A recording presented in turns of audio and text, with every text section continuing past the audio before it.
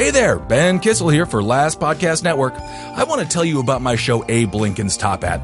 For more than nine years, Marcus and I have strived to present you with the most accurate and honest political podcast out there. In these turbulent times, it's our intention to unite the country with impassioned debate that reaches out to the rational Americans who find their voices more muffled every day. Every week, I use my political science background, my experience running for office, along with my lifelong passion to stand up for the downtrodden, the wrongfully accused, and the invisible man and woman to bring you news like you haven't heard before. Let's face it, traditional news has failed us. We promise to always tell you the truth the best we see it, and I personally guarantee to not be swayed by hyperpartisanship, but be guided by facts. To listen, search Abe Lincoln's Top Hat on any podcast platform or go to lastpodcastnetwork.com and find it under shows. Hail yourselves, everyone. Now back to Last Podcast on the left. There's no place to escape to. This is the last podcast on the left. from your grave. That's when the cannibalism started. What was that? Father Marcus. See, yes. It has been, I believe, 10 years, 20 years hmm. since I've last confessed. Brings you to me, my child. Oh, I want to know this. Jesus came to me last night, but I, I don't think it was Jesus because it was an Indian man. And he said to me, I'm not the devil. And I was like, great, cool. Cool. Mm-hmm. But then he told me to remove my, my pants, Father Marcus. And he told me to put my, my butt, forgive me, You're Father forgiven. Marcus, You're forgiven. Your butt, please. on my, my wife's grandmother's wedding dress. and I believing it was Jesus Christ, even in the guise of a browner man than I expected. yes. That wedding dress now looks like a zebra costume. All right. Well, that's not good. And it I- was not my fault. well, and also, Jesus. Possession! Uh, Possession! Okay. Well, this is the last podcast on the left. I am Ben Kissel. That's Henry. or, You're Marcus Parks. That I am. no kidding. And then we have Henry Zebrowski over here. yeah, I'm over here. You're. I know where you are. All right. Well, You know what I'm doing. I you know what where I'm you doing. are. Yeah, I'm over here. we're finally getting spooky again. Yeah. It feels good to be back in the pocket, to be back deep down in the pockets Oh, yeah. of ghosts and spectalarios. We got a bunch of stuff going on here today. This story is, uh, well, it's new to me. Yeah. And it's quite interesting. It's the murderous possession, the Michael Taylor story. So one of the things that we really didn't get into with our West Memphis 3 series was what we personally believe to be the real motivations and the circumstances behind the murders. Hmm. And we're still not going to get into it, but it's the opinion of at least me and Henry that the way the boys were tied up was simple misdirection, something to make the murders look ritualistic. Now, before you start yelling and punching your computer screen, this is our opinion. This is what we do believe. This is a part of what we say is that we do believe that maybe it was done by a person of the dumber persuasion. Um, let's say the stepfathers of one of the children. We're not going to get deep into it, but a part of it is that they did that to sort of throw the trail off for detectives, saying that the reason why they were tied back was so it would look super spooky, and they did it in the most half-assed, dumb way possible. All right. Yeah, this is just uh this is a bit of a peek into the phone conversations that me and Henry have together. A peek into the phone. Oh the yeah, but what about the yelling? you meant the yelling, and then, and then me just being like, Marcus, I have to get off the phone. I'm in the middle of shit. right. I think we got the yelling pretty well understood. Now, our reasoning is that the ligatures suggest that the West Memphis 3 child murders were lust killings, something that's more in line with like a Bundy. But none of the evidence that usually accompanies a lust murder was present. So therefore, it stands to follow that the whole point was misdirection. Okay, makes sense. yeah, Marcus. Yeah, yes. Okay. Of course, that's that's just our opinion, so we Our don't really opinion. need to argue about that. Well, the whole I'm not going to argue just our about it, and I will do whatever it takes to prove I'm right in a court of my law. Okay. So we figured this week, in honor of Halloween, oh. we'd give you a few stories, but one in particular about murders in which the perpetrators explicitly said that their murder or murders were infernally influenced. Yeah. All right. Like Kissel's need for beer is technically internally influenced. uh-huh.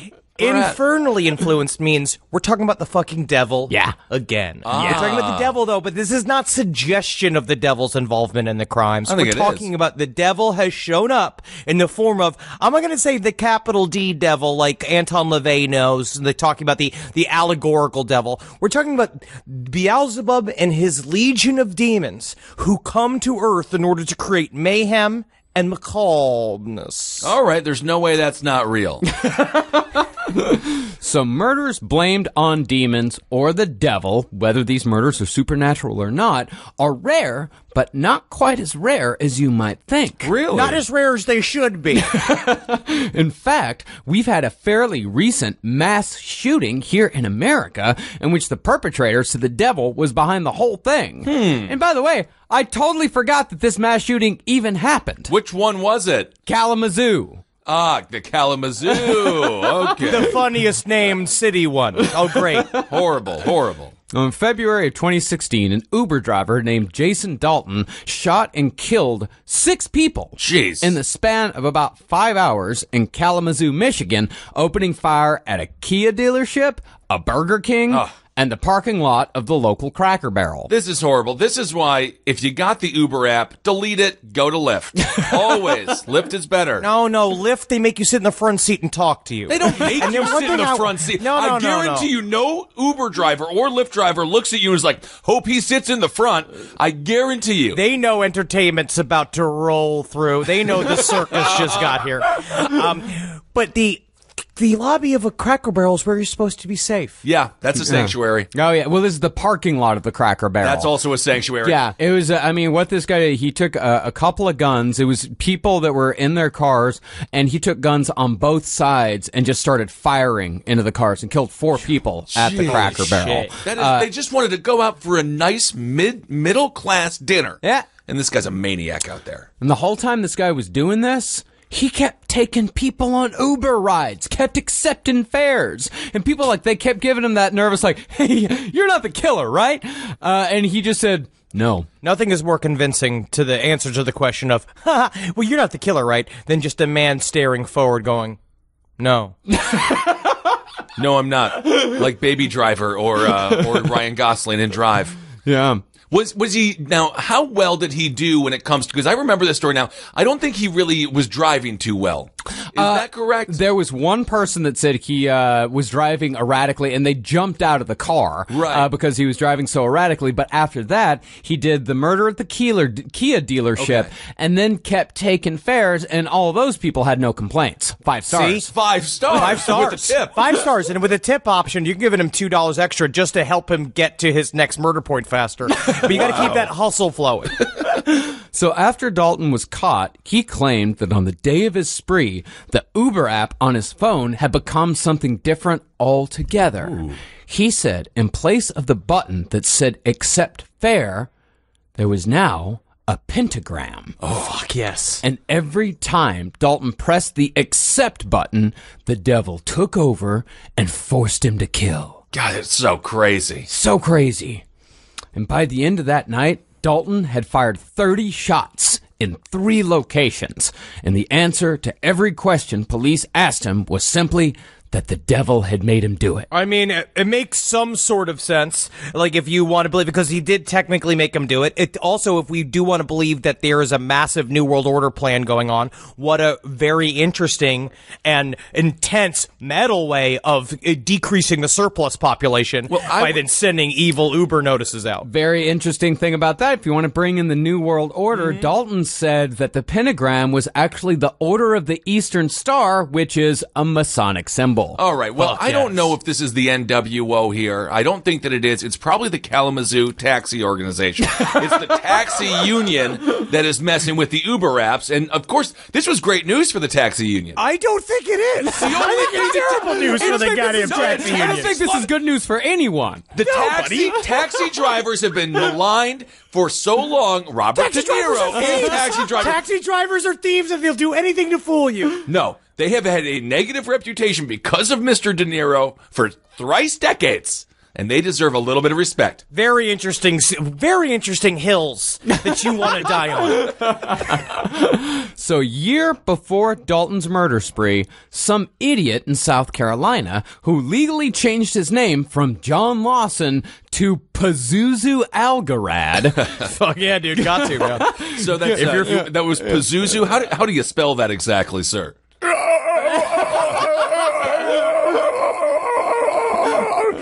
P A Z Z U. Okay, we'll do Pazuzu. Sure. Well, Pazuzu claimed that an evil spirit had inhabited his body, and that evil spirit made him kill a harmless, widespread panic fan with his girlfriend Amber. You can't Again, Oh, to what? all hippies everywhere, never go to a second location. No. I know you're having fun right then, and then you just took the poppers, and so you got the head rush, and so you feel like nothing can go wrong, that the vibes of the panic are going to take you to nowhere but heaven, nowhere but places but you and your Birkenstocks can tap dance or do your weird wiggle, white people cargo shorts dance that you do. um, but you will, and it will end up in your death. Yeah, That and, is sad. and Pazuzu did have white guy dreadlocks in one of his mugshots. Have you seen? Well, one of the more famous things about Pazuzu Algarad was that they released the policed video tour of his home. Yeah. And if you watch it, I mean, he. Whether it is fantasy or not that he believed that he had been occupied by a demon, he definitely went to live the lifestyle. Yeah. And I kind of appreciate it almost, where it's like he wore all these weird satanic warnings all over the walls, a lot of swastikas, a lot of juggalo material, hmm. which is really not the juggalo's fault. no. no, we can't malign the Juggalo here. Absolutely not. We're big Juggalo supporters here at Last Podcast on the Left. You do you over over there. That's what I always say. Yeah, and Pazuzu, I mean, he took it, he took it really far. Like, he Okay. filed his own teeth into points, he forked his own tongue, oh. he covered his face in a bunch of nonsensical ballpoint pen tattoos. And pretty much, I mean, it looked like the type of shit that your buddies draw on your face when you pass out. Well, no, now he's becoming a fucking SoundCloud rapper. That's what's happening now. That's what's happening with the new generation. I heard that. Always tired. Well, one neighbor testified to Pazuzu's quote unquote possession, saying that they knew there was something wrong after they saw Pazuzu sacrificing rabbits in his backyard. What about when he was coloring himself like he's a drunken Pollock? That was that was a part of it. Okay. Yeah. uh, no, he was expressing himself. What about when he's filing his teeth down? I will say, when someone starts filing their teeth down in front of you, a horrible thing to do on a plane, by the way. Yeah, you think it's bad when very just- inappropriate. very inappropriate. Just because of the sounds. Can you imagine that? I honestly, though, at the same time, if that's what you want to do, do that. I'm all about being fucking. Sure. If you want to look evil, look as evil as possible, but you don't have to. But uh, I will say there's something. We'll we'll get into this because we're going to talk more and more about possession as a topic, and there's something to me about the idea of it being 50-50. So if you're willing to walk the walk, if you're willing to really go all the way, and from a magical standpoint when you build a sort of shrine to a demon that you believe is occupying your mind, you're, in a way, you're making it real. In a way, you are guess. making it real, but there are you know certain people who invite it in and using it use it as an excuse. In the case of Pazuzu, and other people where the answer is not quite so clear cut, which we'll get to that guy later. Okay. Yeah, and uh, another neighbor also said that she knew something was wrong with Pazuzu when Pazuzu uh, when she saw Pazuzu just take a big old shit on the floor of his own house. What do you mean? He's- So we got a guy, we got a shark tooth guy here, covered in ink, taking dumps in his in his living room. yeah, take a big old dump right on the hardwood floor. Somewhere, somewhere, a producer at TLC got a spine tingle right down his back. and was just like, "We've got to go immediately." I found a perfect subject. What I was really searching for in my new home was an open concept bathroom ah. where any room can be a bathroom. Because that's what the devil told me to do. Any room can be a bathroom if you really want it. But these stories aren't just limited to America. In 2013, a 25 year old in Cumbria, England, named John Jenkin, stripped naked and split open the skulls of both his mother and his sister with an axe. Fuck yeah, shit. Holy fuck. Don't fuck yeah that. It's not fuck yeah. It's not nice. It's not nice, but I mean, I. Ah, it's well, not fuck yeah. We have to. I'm expressing we have to expressing myself. break you of the habit of saying fuck yeah when people get murdered. I'm trying to in my daily life. I have to. I have to stop. Why doesn't the devil ever just help someone at Wendy's become a manager? like it seems like the devil is a little bit. He's he's not really working in people's favor here. When we talk about the, there are many types of possession. There is bef- beneficiary possessions as well. If you look at PKD and his uh, experience with Valis in Beyond the Occult by Colin Wilson, they describe that as a beneficiary possession because it told them about his son's illness. It helped him clean up his whole life. He did that kind of shit. That's happened again and again. and- People. For the audience, PKD is Philip K. Dick. Yeah, I was about to clarify And as well. it- I had to go through my Henry like like little brain and just be like, what does PKD Yeah, they- mean again? Go Oh, through the Henry right. glossary and pull out PKD. yeah, you understand. You're learning. Well, this guy, John Jenkin, he told multiple people that he was gonna kill someone and that Satan was behind it all. Hmm. The night before he killed his mother and his sister, he reportedly told his friends, quote, I am the devil, and I need to confess. I don't know if he said it like that. I don't know how you say that. How do you say it? I'm a devil and I'm going to confess. no, no, no. he, he was, I am I am the devil. You know, I need to confess. I'll tell you what, I'll give him right, right out and say it. I don't need to confess. What do you do if your friend says that to you? I Well, you mean- just laugh it off and keep on drinking, I uh, sure. Right. Cool. It's just, it's almost as scary as your friend being like, I think I'm going to become an Uber driver. No, it's their type of friends we know these people. It's like, you know, they become a butcher's apprentice, and then all of a sudden they're a woodsman apprentice, and then all of a sudden they're working at an adult jungle gym because it happens in Brooklyn, and then all of a sudden they're the devil and they need to confess. All right. Well, perhaps the most tragic of all of these was the case of Andrea Yates. Hmm. In 2001, Yates drowned her five children in the bathtub of her Houston home Yeah. and claimed that Satan was to blame. This was a huge story. yeah. Gigantic story, yeah. She said that Satan had taken control of her soul, and since Satan was the dominating influence in her life, her children would naturally be infected.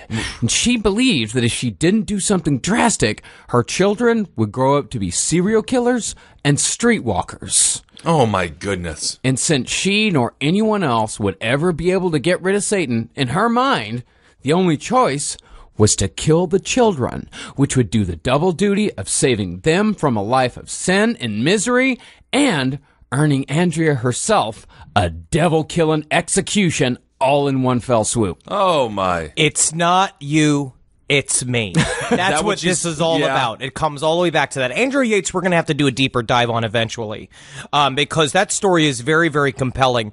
But there's something about that too, because it's the missionary aspect of it Yeah. that happens in a lot of these cases, especially because we we'll bring it up again and again. Possession is a really uh, interesting way to make yourself feel very important because uh, we uh, we were talking last night, uh, J- Jackie and I at Halloween Horror Nights. We were talking about uh, gang stalking.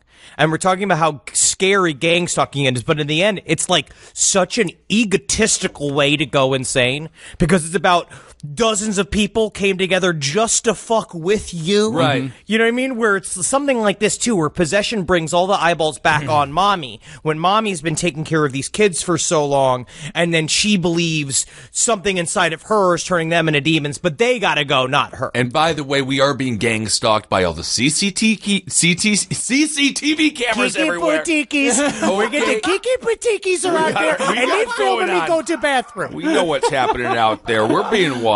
Now, these cases, they really aren't all that hard to explain. I mean, Yates and Dalton are obviously mentally ill. Jenkins was mentally ill, plus he'd been abusing alcohol, acid, and weed, and Pazuzu was a schizophrenic with a terrible upbringing who wouldn't take his meds. Can we say it was oh. mostly the acid? I don't think it was the BLs that really drove him over to become the devil. BLs No. can BLs can be a bad Yeah, they idea. can. Yeah, BLs Yeah, can they- definitely buddy. drive you to be Yeah, the devil. buddy. I'm playing Red Dead Redemption right now. and I gotta crazy. say, all the BLs do is make you be able to camp out when it's cold. That's It's, you. it's also nice to That's be that you. it's a video game, but It's not true. Oh no, it's not like anyone who drinks BLs has uh, never uh, has never committed a heinous act. but My why father would you? used to go, and I would, I, could, I imagine my father did a solid baker's dozen of BLs a night, and then he'd come home and become an amateur interior designer and move the furniture around my house in a way that scared my family. He, acid, I probably would have made my father scarier, but it's uh, it's intermittent. Yeah. Yeah, I half think an hour on, half an hour off. your dad was taking some shots of whiskey. I'm not saying whiskey won't do it. Yeah, whiskey will also do it, but don't sit there and act like BL's Bud Lights for the uninitiated. If you uh, bring out your only if you bring out your bin glossary, Okay. the Bud Light, the only thing that will happen is you'll end up at a Buffalo Wild Wings having a great time watching a college team that's Division Two that you didn't even know you wanted to root for until you sit down and then you're really you, you support you're supporting the Wyoming Cowboys all of a sudden. Back to demons. Well, the case in which we'll be spending the majority of our time on today is not quite as simple as all the ones that we just talked about. Because today, we'll be spending our time telling the story of Michael Taylor. Now, po- remember, possession has uh, been a part of the human experience for a really long time. Back to the, just the oracle days, when the idea that we would take on a possessed state. That was a part of the idea of speaking in tongues, ta- like talking to uh, a form of spirit guides, doing something. So it's a, it's an ancient part of our our existence, which is very interesting, and I don't know why. And we'll we'll go into further too when we get into exorcism about how mm-hmm. their pairing of possession and exorcism also became the first forms of psychotherapy, mm-hmm. which is it's very interesting to see go all the way back. The idea that at first they were equating everything to devils being in our bodies, and eventually they grew to saying, "Oh, these are mental illnesses," and now we're coming all the way back around to saying, "Yes, they are devils. They are here, and they must be exorcised." The only good side effect of all of that was the orgasms. when doctors were just like, we're going to give you an orgasm, that should cure everything. This is true. Growing up, possessions were 100% real. Yeah. We used to watch borderline what seemed to be snuff films, but they were not. uh, they were given to us by the church, and they were all grainy and stuff like that. Almost like the autopsy footage that Fox showed that that one program. Yeah, the alien autopsy. We used to believe that it was real growing up, which made the uh, Exorcist a hell of a documentary. Yeah, definitely. So, 1974, 31 year old Michael Taylor of Ossett, West Yorkshire, England. Committed a murder that was so ferocious and brutal that many believed that the only explanation was true demonic influence. Hmm. But that was mostly because Michael Taylor had just returned home from his own exorcism. and then the curb your enthusiasm music comes in. This episode of Last Podcast on the Left is brought to you by Hunt a Killer. First, there were the grisly murders. Then came the strange clues and the cryptic, taunting letters, all from a psychopath who always manages to stay one step ahead of the authorities. It's your new favorite obsession Hunt a Killer. Hunt a Killer is a monthly subscription where you become the detective immersed in a shocking murder mystery. Each month, a fictional serial killer will send you cryptic clues, objects, and letters that you can actually use to solve the crime in real time. It looks and feels so real, you'll start looking over your shoulder on the watch for the killer. Hunt a Killer is great to play solo or as a date night for your true crime loving partner, or join up with your friends to swap theories. Hunt a Killer has a huge online community, so you can work with other people who are at the same point in the story as you.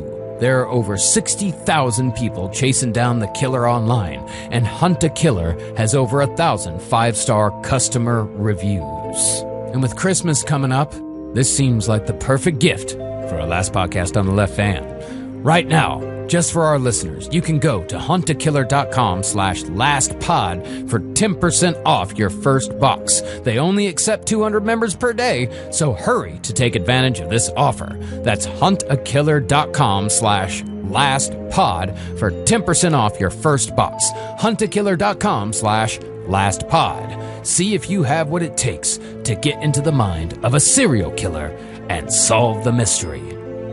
But before we get into the story itself, let's acknowledge our main source today for the Michael Taylor story, The Sussex Devils by Marc Heal. And I got a lot of information from Beyond the Occult by Colin Wilson, which is another must-have book uh, for the student of the occult. Colin Wilson does such a good breakdown of sort of the psychic as undiscovered science activity version of possession. He has a couple of good chapters on possession in this book. Now, there are a ton of different versions of this story online and in various books, but it seems like Heal's version is the most consistent and reliable. Plus, dude used to play support for Gary Numan, Oh, so that's who we're going to go with today. okay. He was the one to do bump of the bump Bano, banano, Really? That's him. Honestly, me, Marcus, and our friend Sarah Richard are the only peoples I know that are direct, actual super fans of Gary Numan. like I am guy. a gigantic Gary Numan fan. Yeah, yeah, sure. Why wouldn't you be? Yeah, I, I'm sure there's uh, also uh, our friend Andy Org is also a gigantic We Gary can Numan name fan. all four fans. We could do this all episode long. So, unlike most people who are involved in a in possessions and exorcisms, Michael Taylor was not a particularly religious man prior to the events of fall 1974. Now, he did live in a highly religious town called Ossett in Yorkshire, which Yorkshire is pretty much it's like England's version of the American South. Cool. Very agriculture, uh, very agricultural, very uh, religious. Uh, but neither Michael nor his wife nor their five children ever attended church, nor were they even quote unquote spiritual. but they were around it, and they were around Right. the lifestyle of the church because it seems to be in England, from what I understand, it's kind of sort of similar. Anglican is similar to sort of Lutheran, where it's way more about like the hanging out than it is about the actual mass. I'm not. I'm speaking out of my ass, but it seems that I, uh, I, I think that I, from what I've read, they always talk about normal and being Yeah. proprietary, be- being being proper and shit. Lutherans are pretty chill. Protestants are intense. Yeah. Catholics are somewhere in the middle. A- Anglicans Catholics is are Protestants. fucking the are the worst of the fucking. yeah, Catholics bunch. are the most intense. No, they're not as intense as the Protestants. What do you mean Protestant? You mean like Baptists I'm and talking Methodists? straight up people who don't do any of the wine is is grape juice. Oh, yes. like, no, Yes, you're right. Catholics will they'll No. like have no Catholic uh, fish fries on Friday, for example. Everyone just gets hammered and eats a bunch of fish and thinks they're being pious. Catholic is a Catholic is a romantic slash terrifying version of Christianity because you really are. It's the consummation of the flesh. It's him up there with the with the Magdalene shrouded Yeah, in fucking like her gossamer webs. Jesus screaming as his side is pierced, and you have a man fumbling nervous because you're just the sweetest, precious little redheaded boy he's seen all day. Oh, my Like, goodness. it's a, it's a, it's a whole experience. I will say, great. Uh, if you want to go to a mass, the Stations of the Cross mass is actually pretty fun. It's horrifying. Yeah. Uh, so it's a good. T- it's a good story. Well, Michael Taylor was actually said to be the very definition of mild mannered. Pretty much just like boring, quiet British dad and a loving marriage, raising five kids and a little poodle. But that's not to say that Michael didn't have problems. Everybody's got problems. Yeah. See, England in the 70s was a pretty piss poor place to live because a lot of the country was out of work. There was a huge economic depression. Mm. And even some of the people who did have jobs, they could only work, they actually like reduced it, made a law that you had to have a three day work week. Hmm. And because of chronic back pain, Michael, who was a butcher by trade, had an even harder time finding work than most. And because he had a hard time finding work and because his back was constantly killing him, Michael was prone to bouts of depression. That'll Oh, hap- Siggy, maybe, maybe a way for me to fix your bit of a pig in minute. Is that uh, there all right, my wife? I want you to hold up this pig side. I'm gonna lay in my back. Right here on the couch. And I'll tack it upwards. I'll take it upwards with my cleave. I'll take it. Oh, I'm getting blood all over my. Oh, I'm getting blood over me all over the, all over the couch. Oh, yeah, you don't want to be a butcher from the bottom oh, there. no, oh, No, that is that's not good. But that back pain really does cause depression. Shawn Michaels, that's why he had to retire. Back pain, and he said he lost his smile. Yeah. That was sad. Hmm? he did. He said he lost his smile. God, I fucking, I just have this horrifying vision of Shawn Michaels with the mouth like from the Twilight Zone movie, where there's no, it's just flesh colored with no lips, Honestly. and it's him like searching for his smile in a bunch of bushes. The ladies would still love him. By the way, Roman Reigns has leukemia. It came back, so we're thinking about you, Roman. Thinking about you, Roman. Okay. Well, Michael Taylor's depression was noticed by a neighbor named Barbara Wardman, and Wardman figured Of that the Of course it was.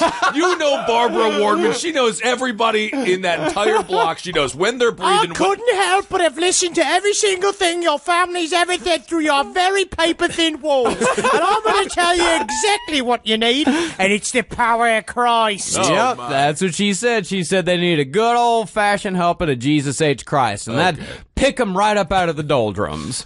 But she also knew that the Taylors found church to be a little uncomfortable, what with all the rituals and such. Because Mm. the Anglican Church, like, it's an offshoot. I mean, it was a kind of a split from the Catholic Church, so they do have somewhat of the pomp and circumstance, just not as much. Okay. They don't have confession and all that. They like cake. Ooh, But Barbara had what she thought was a clever little back door to satisfying spirituality. Oh, yikes. That sounds Catholic to me. anyway, that's a little inside There joke always there. is. There always is a little loophole. There's a way to get that uh, spirituality in there in a different way. Well, Barbara had just begun to attend a small Christian fellowship group that was meeting in homes around Ossett, and she fi- and she figured that this was just the thing to lift Michael Taylor out of his depression. Okay. Now, this group did not have an official name, but had Michael Taylor not done what he eventually did, it is possible that this group could have blossomed into a full grown cult by the end of the decade. Really? This is why, if you're a potential cult leader, and I do believe this, it's why they start small and you do the frog and the the water bit where you slowly turn up the temperature. You can't have somebody in there who's spotlight hungry from the very beginning because Yeah. they'll ruin the whole build. Right, mm-hmm. absolutely not. Well, the reason why this could have turned into a full grown cult was because it was led by a magnetic 21 year old blonde named Marie Robinson, hmm. who supposedly had the healing touch and was gaining followers of all ages at an alarming rate. Now, Lady cult leaders, they are out there, man. What do you think are the main differences between a female cult leader and a male cult leader? It doesn't seem like they have the same sort of final conclusion or final solution for an end. Absolutely not. See, that's the thing. is What a lot of people don't realize is that female cult leaders, like female serial killers, are much more successful than their male co- counterparts. Scientology being the obvious exception. Hmm. But the reason why the ladies take it to the next level is the reason why female serial killers don't get caught. It's all under the radar. Radar and it's much more subtle. Okay. And because of this, female led cults have a much better chance of ending in vast riches rather than wide scale death. That's what you They want. become goop. They learn how to flip it into a website, a lifestyle website. It- like NXIVM was kind of the same way. Without NXIVM would not have reached the the amount of time it existed without the women that were in charge of that group. but I think the fall was because of Raniere himself. the mm-hmm. man Again, it's always the fucking dudes because we don't, we have no impulse control. Where it's like a, a Marie Robinson, she knows exactly the gentle way. Mm-hmm. She can talk everybody into the loving arms of Christ with a little touch of the knee, a little peck of the lip. A little bit of a petite four. That's what the, that's what they like. They're little tiny little tea cakes, and she's sweet as a pie. Yeah, I don't like you doing that accent with that mustache. That is that is confusing me. Oh, yikes. well, for an example of a female cult leader. Okay. Michael Taylor's leader, Marie Robinson, was a direct spiritual descendant of Aimee Semple McPherson, hmm. who founded the Foursquare Church here in America back in the 20s. Okay. Foursquare services are highly theatrical and participatory, Checking in. Yep. focusing on speaking in tongues and faith healing. It's pretty much an offshoot of the Pentecostal church, but with one important distinction.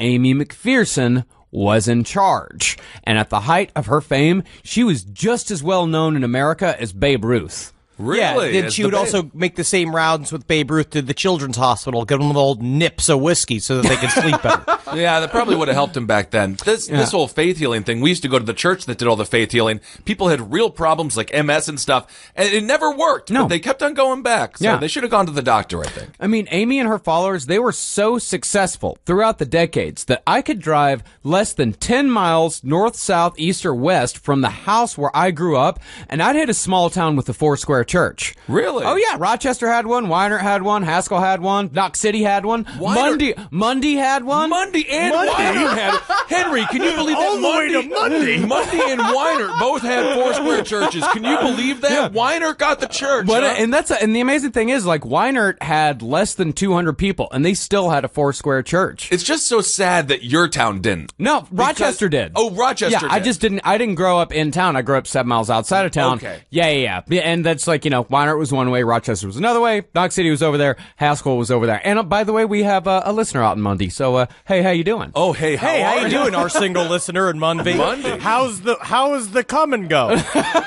Monday. It's spelled with, it's Monday, but it's spelled with a U, and it's pronounced Monday. I hate Mondays. Maybe they have that for a Garfield, t-shirt I or remember. something. I don't know. They don't. They don't have any Okay, T-shirts kinda- that are specific. Well, it could be kind of That fun. would be great. That's how Yeah. you bump up the name. You gotta bump it up. No, but then that's the thing is that you got to get the town that's the rival of Monday to say I hate Mondays. Uh, Yeah, Yeah, the Thursday. flumpers. yeah. You get the gory to do that. Yeah, sure. Oh, Uh, even though it seems a little ridiculous to imagine British people speaking in tongues, I think it's possible that Marie Robinson could have accomplished something similar to Aimee McPherson had it not been for the road bump of Michael Taylor. Okay. I do declare. Uh, r- Rimple Frumple, uh, Amore, Musnickdaggy. No, uh, I, oh, oh, this is simply embarrassing. All I could think of was just Rumby Pumby Dumby, Rumble, Rumby Dumby, Rum, Rumby Bumby, Rumpy Tumpy. This is the last I acceptable know. racism that can exist. Uh, either way, in 1974, the few people that Marie had gathered were already all in behind her, and the Taylors were primed to join the flock. See, unlike the stuffy Anglican church that the Taylors had already rejected, this group, they all smiled and they laughed and they talked throughout their meetings. You know, they, they practiced the kind of Christianity that makes you feel good. It's, cool church. It's cool church, yeah, and especially when, yeah, because uh, uh, I actually, hate fucking cool church. I hate it Oh, no. so much. for a prime example of that, uh, what's her name? Marie uh, Anderson. She regularly described herself as just another Jesus freak. Uh oh. Oh, yeah. Listen But I to can DC see talk. how it gets gets people in. You Yeah, go sure. through it's stuffy. Michael's an older man. He's looking for a new lease on life. He's been he's kind of half the dude that he remembered himself being because of the pain he's constantly in. And you walk into this place and it's like sunshine. Yes. And at the center of it is Marie. Mm-hmm. And, maybe sometimes Marie doesn't wear a bra because she's just kind of natural. Like you don't know. she's she, British. she loves the tambourine. Yeah. Uh, that's the thing. And then kids growing up, when they they can rebel by going to cool church, but then they're still going to church. So their Exactly. parents are still happy. And that's the thing, man, is that by the end of Michael and Christine's first visit, Michael was already speaking in tongues with the best of them. Oh. One visit. Now, one version that I read about this visit on the internet concerning that night said that Marie Robinson called upon the congregation to see if anyone needed healing. Ooh. Now, as we said, Michael suffered from debilitating back pain, so he volunteered. He figured, fuck it, let's give it a shot. And Yeah, he- man, fucking let's rip that band-aid off. Yeah. Right, right here. It's like, yeah, let's give it a give it a go. Let's rip it off. Let's see. Let's see what happens here. And so Jump he started walking to the front, and Marie she started walking towards Michael, but she stopped instead at an old lady named Mavis Smith, who was just sitting there weeping in her seat.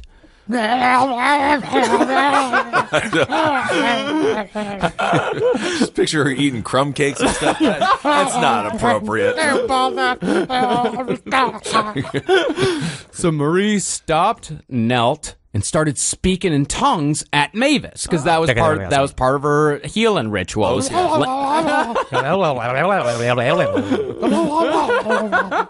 Then, to everyone's surprise, Michael Taylor dropped to his knees out of nowhere and started doing the same. Whoa. Yeah, so they're both talking in tongues with this old lady who's just sitting there crying and crying. Yikes.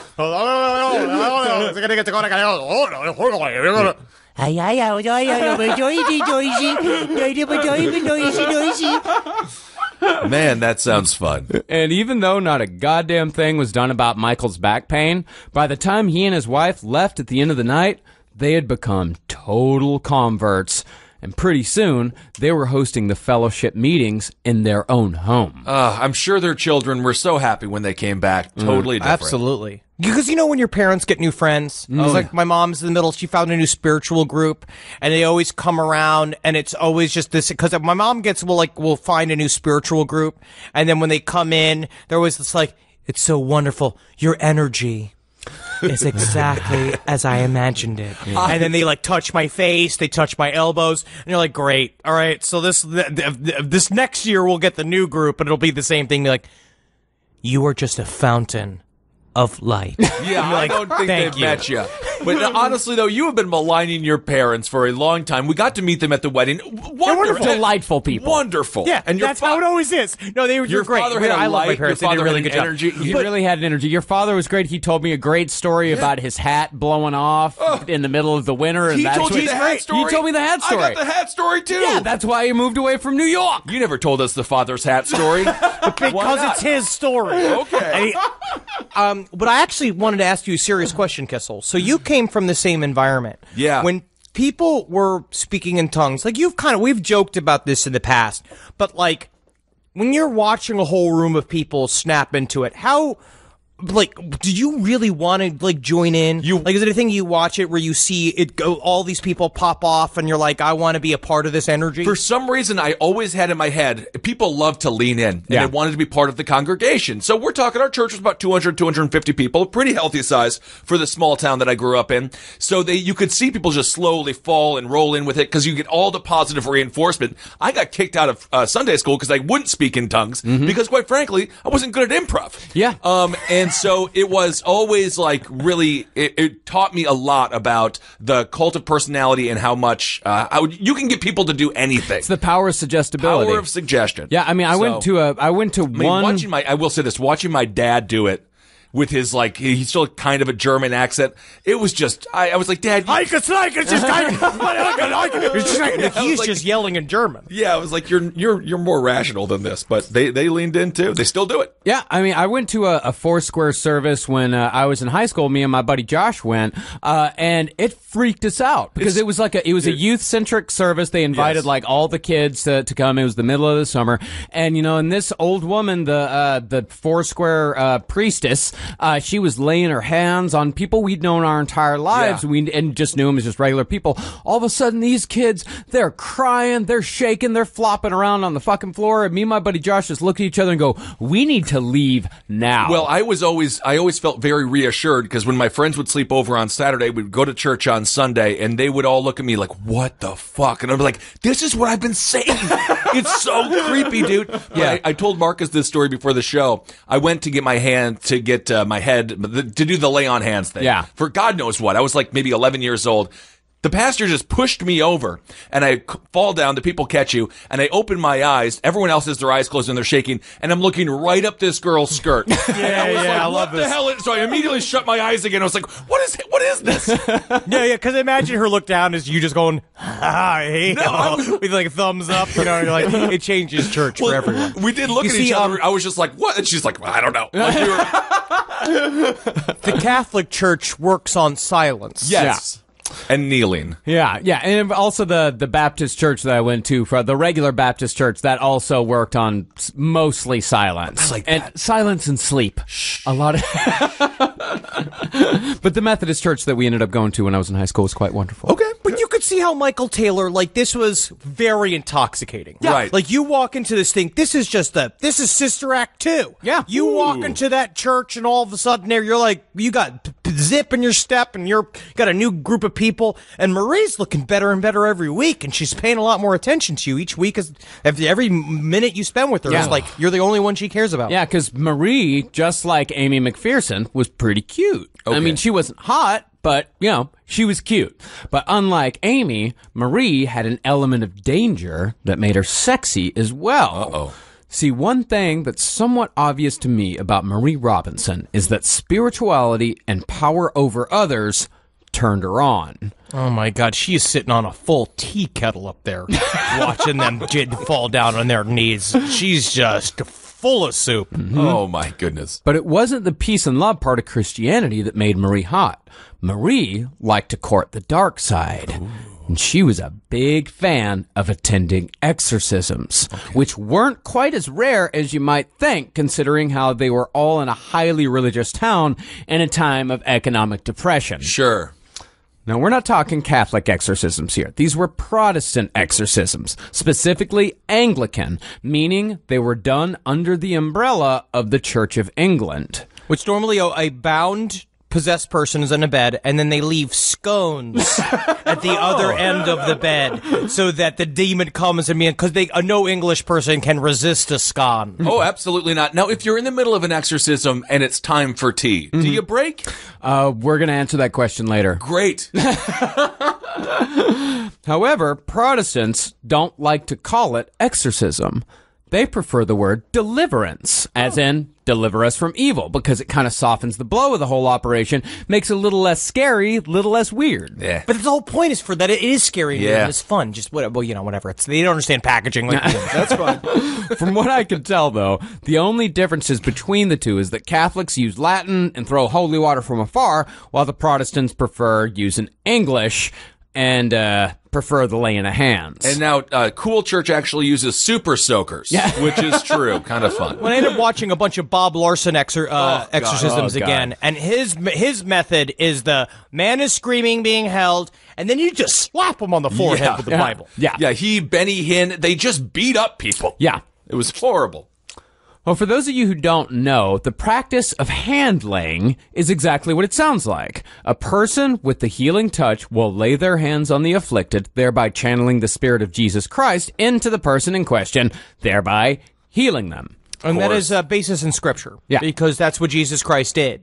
Jesus Christ went and some of one of the all of the first stories of a part of the, his his ministry was exorcising demons from people, and he'd go and stick his thumbs on their eyes and like play with their mouth and shit. And they go, ah, and he's like, "I'm fixing you. I'm fixing you, bro." Well, it seemed to work, I guess. Well, the Anglicans, much like the Catholics, have a full set of guidelines for performing their version of exorcism, which those guidelines, not so coincidentally, meticulously updated in 1975 in the year following the Michael Taylor exorcism. They did an update. They huh? did a bit of an update. Interesting. Yeah, it needed a it needed a spruce up after what happened. Well, in these guidelines, it stated, among other things, that no exorcisms should be done alone, clear lines of accountability should be drawn at all times, and everyone involved must be covered by adequate insurance. It's like what should be done when you audition for a movie now. yeah. So God basically just ter- changed the terms and agreement, uh, the terms of agreement. Yeah. Interesting. Well, according to an interview with a modern English deliverance minister done by The Telegraph in 2015, anyone who wants to perform an exorcism these days has to attend a four day long compulsory training course. God, I want to go so bad. Yeah. That's four days of talking about the devil. Yeah. And then lunch is fun because you're mixing with this all these people and you're talking about the devil and you're being like, how many times have you seen the devil? And it's like, I've seen the devil four times. Being like, cool, man, cool. Salisbury steak's good. Well, they say that the main focus of this seminar is to tell if the person in question is properly possessed or just mentally ill. And they say they can differentiate between the two by making sure the possessed in question checks off three boxes. The person must demonstrate superhuman strength. They must have a knowledge of a language unknown to them prior to the possession. And they must have knowledge that was gained through supernatural means, as oh. in they know personal facts about the people in the room that should be impossible for them to know. Okay. All of these are cool abilities. Yep. If it also didn't involve you masturbating with a crucifix in front of your parents. Absolutely not. Interesting. Now, the act of deliverance, according to the Anglican Church, is only supposed to be done after the case has been examined and approved by a bishop. But it seems like in Ossett, West Yorkshire, in hmm. 1974, nobody was playing by the rules. Oh my no, gosh. it was real fast and loose. Yeah. So they did it amateur styling. Okay. This was like an open mic of an exorcism. and I think a lot of it had to do with they think that Marie just felt she had the touch. She could do it, And yeah. Right. So- yeah. So this is like when the UFC first began, and they're like, "There's no weight classes. How do you win? Punch him in the balls. Punch him in the balls. Yeah, punch yes. him in the balls." So that's the kind of phase that they're in right now. Pretty much, yeah. It's not too long before Michael Taylor fell off the deep end. The fellowship group attempted a non-sanctioned exorcism in Michael and Christine's home, led by Marie Robinson. I'd watch the pay per view. I would watch that. Oh, yes. the non-sanctioned. That sounds really cool. Yeah. So Mavis Smith, the same woman whom Michael had spoken in tongues towards on his first night, she'd fallen deeper into depression. Oh. So one night, as she told everyone in the group about the shit she was going through, Marie decided to perform an impromptu exorcism right there in the Taylor's living room. Whoa. Well, how about this? How about this for you? You want me to flip your wig here? We could do the exorcism right now. What? What did I just say? You're like, no shit! No shit! Oh, my We're gonna do the exorcism right fucking now! That's crazy. Oh shit! Can't just spring that on people like that. Needless to say, things did not work out well. Oh. Marie approached the old woman by yelling at her in tongues and laying her hands. And Mavis, yep, she totally played her part. She was doing all the violent thrashing. She was growling, doing everything that was expected of her. But finally, though, they just call the whole thing off. They just called they, it they- off? They're just like, it's a, they're like, this isn't working. Let's call it a wash. And from what I can tell, Mavis Smith was pretty much just left to suffer while the fellowship group just moved on to ah, something else. You can't just. I've still got a dog demon in me. I'm still half a dog. Poor Mavis, half a dog Mavis. Here we go. Listen, I know, I know you still have a dog and you're very upset about it, but here's a five dollar discount coupon to Macca's. Go get yourself a burger. That's actually very nice. This episode of Last Podcast on the Left is brought to you by Casper. Casper is a sleep brand that continues to revolutionize its line of products to create an exceptionally comfortable sleep experience one night at a time. Casper mattresses are designed by humans for humans and are made right here in the USA. The original Casper mattress fuses multiple supportive memory foams for a terrific sleep surface with that perfect sink and just the right bounce. The Casper has a breathable design that helps you sleep cool and comfy, and it even helps regulate your body temperature all night long. And they don't have just mattresses. Casper has a ton of products to ensure you get the best sleep of your life. Buying the Casper mattress couldn't be easier. You order online and it's delivered right to your door in a compact box with free shipping and free returns to the US and Canada. And by going to casper.com slash LEFT and using the promo code LEFT, at checkout, you'll even get $50 towards select mattresses. Considering we spend one third of our lives on a mattress, it's so important to truly sleep on a mattress before committing. That's why Casper gives you 100 nights to try it out.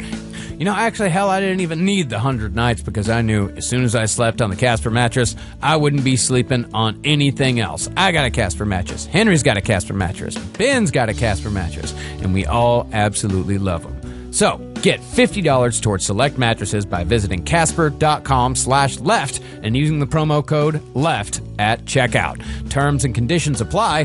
That's $50 towards select mattresses by visiting casper.com slash left and using promo code LEFT at checkout.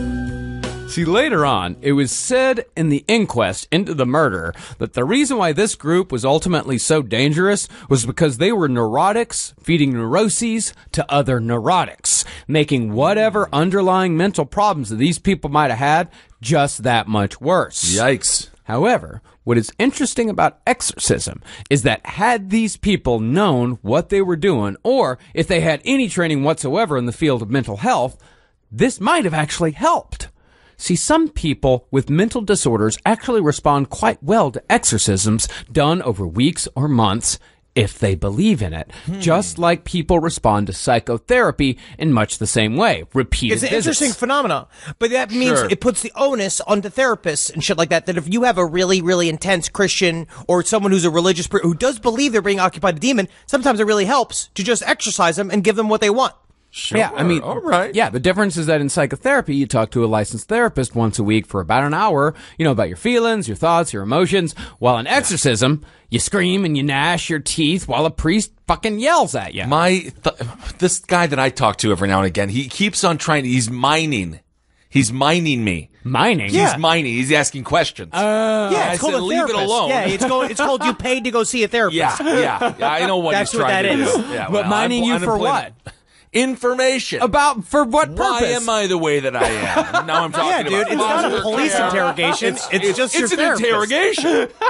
Just give me my medication, please, sir. Well, while what therapy sounds reasonable Okay. and exorcism sounds crazy, All right. it might just be a case of different strokes for different folks. One paper published in Psychology Today actually argued that if a person truly believes that they are possessed, and we're talking about the person who is possessed believes they're possessed. We're not saying that the people on the like parents believing that their you know children are possessed by a mm-hmm. gay demon. We're not talking about Right, that type right. of situation. We're talking about Those about are the fun demons. Yeah, honestly, that would be really nice to just have that happen to me once. just once in my life, it would be nice to be possessed by a gay demon. But that's okay. well, we're talking about people who truly believe that they themselves are possessed by demons. This paper suggested that there might not be anything wrong with using their belief system as an aid for treatment, hmm. essentially using exorcism as a placebo. Interesting. But Marie Robinson was not a trained professional. See, just like with psychotherapy, if you don't know what you're doing, you can easily make things far worse than if you just left it alone. I see. And this is where possession is a community story. It's something about the vibe she's setting up that I think that's either it's either one or the other. Like you could say she's perpetuating something that's fake, which is uh, if you want to immediately say that, sure. Or you can say she's fostering an environment where where they talk about in possession. It's a lot of times if it were going to happen, it would happen when someone's at a weak point. It would happen when someone is at uh, either a physical weak point uh, spiritual slash mental weak point, depressed, doing stuff where essentially you've you have eased up the borders, your psychic borders, to something that could come in and fuck with your mind. You're looking for any kind of help you can get. Yeah, and we're not necessarily saying that, you know, when you loosen up those psychic borders, we're not necessarily talking about the Christian devil, uh, or anything like that. We're not necessarily talking about religious devil. You know, we're, I mean, we have some, uh, interesting conversations on the collective unconsciousness, I would say. Sure. Uh, demonic. The the concept of demonic possession, which is the idea, which is a thing that started with, I believe, the shadow world that Jung was talking about. The this concept that maybe there are, if there are intelligences that come much like ghosts, because when you read about ghost activity, Beyond the Occult does a good breakdown of it. It's very, again, similar to alien abductions. You get paralyzed. You, you get, you can sometimes move to another space. You can do all this stuff. You have the same kind of weird physical reactions. That maybe there's something that's like a daemonic, which is D-A-I-M-O N-I-C, I believe, or D-A-E. D-A- I don't know. It's D-A- I don't know. D-A-E-M-O-N-I-C. 11 year old Henry Zebrowski, that was not the question we asked here at the National Spelling Bee. Um, the, the word is Give me apple my tree. pizza! Okay, it's apple tree. so, but a part of it is that the idea that they, it's not just a Judeo-Christian uh, version of possession. No. That there are other intelligences that can jump in, and a part of it, it's like maybe it's a version of borderline personality disorder, maybe it's something else, maybe it's different fractions of our mind that essentially are so different from our main consciousness that they are like other intelligences. Yeah. it's all it gets very complicated. Yeah, and it could be that you know, exert or possession or something like that is uh, something breaks in a person's mind. Something comes in from the collective unconscious, and that's why people can suddenly speak languages that they've never heard before. Uh, and it essentially something breaks in their mind, and it's too much. They get too much in, and of course, there's no scientific basis behind that. But you know what? I'll always say it. Fun to think about. Fun to Fun think to about. think and about, Those yeah. are definitely words. we know that. We know that. Well, Marie, she was just kind of making up all this shit as she went along. And she was playing with forces that were far more dangerous than she realized. And I'm not even talking about supernatural forces. I'm just talking about human beings. Mm-hmm. But it wouldn't be long before Marie would find out firsthand just what she was fucking with here. Uh oh. Now, after the failed exorcism, some of the shine of the fellowship group was starting to wear off for Christine Taylor. That's Michael Taylor's wife. Because the whole experience freaked her out enough to snap her out of the good feeling wave that had swept up both her and her husband. She's got to get a W here. She's Yeah. got to channel her inner Aaron Rodgers, tell everyone to relax, and got to start winning. And that may be why Christine started to notice that her husband was much more interested in Marie Robinson than Jesus Christ. Uh oh. And it seemed like Marie was doing her best to encourage it. This is much worse than a demonic possession, having your wife speculate that you like somebody more than her. I would rather be possessed by every single demon in the history of demons. Well, Christine walked in more than once to find her husband, who had been nothing but loving and faithful throughout their marriage prior to this meeting. Uh oh. She'd find him with his hands on Christine's shoulders and his eyes fixed solely on Marie, saying this was all under the guise of quote unquote prayer. I don't yeah, know prayer, about yeah. that. hmm Then Oh, yeah. Michael and Marie started meeting up for private rituals in which they'd stay up all night together, just making the sign of the cross at each other because they were convinced that the full moon would bring evil every time it hung in the sky. So they needed to protect each other from that. Okay, her concerns I'll concerns are tell you valid. something, Marie. I these nights have been so special with you, and I, I know the moon is evil, Yes, the moon is evil. but you ever look up at the moon and think that that moon, it looks like one half of a great big giant butt? Yes, I do. Kiss me under the milky twilight, lean me. And they're just holding each other's hands and they go, fuck the devil, fuck the devil, fuck the devil. Well, it's kind of romantic there. Oh, yeah. Well, pretty much everyone in the group was well aware of the sexual tension between Michael and Marie. Well, now how oh, is Oh, yeah. Michael going to pull? He's a he's a father of what five? Five, yeah. And so yeah, he's yeah, but he's be not this. dead, man. Yeah. Just because he's a, a father No, with I kids doesn't that, mean he doesn't feel yeah. these passions. Yeah, it She's doesn't mean he, just because he has five children doesn't mean he can't abandon them. No, I understand. I understand that.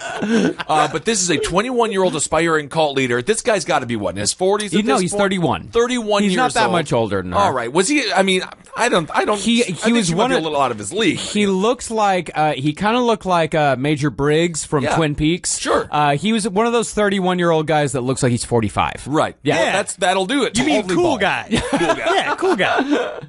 Well, yeah, pretty much everyone in the group was well aware of the sexual tension between Michael and Marie, but Michael, he just kind of brushed it off. He'd often say to the group in front of his wife that he loved Marie with a Christian love, a love that could hurt no one. Ugh, that means you you Yeah. have sex while someone splashes a, just buckets of blood like your carry on top of you. I could just see a priest doing that with the altar boy again, being like, "This is a Christian love." Yeah. It's disgusting. Uh, meanwhile, Michael was withdrawing from his family completely. He was acting irritable, he was lashing out at tiny shit, and he was spending more and more time alone. So one night, Christine decided that she'd had enough. Yeah. And she called out both Marie and her husband at a fellowship meeting being held at the family home. Honestly. Oh shit! Oh, shit, oh shit! this is the know. best fellowship group I've ever been fucking a part of, guys.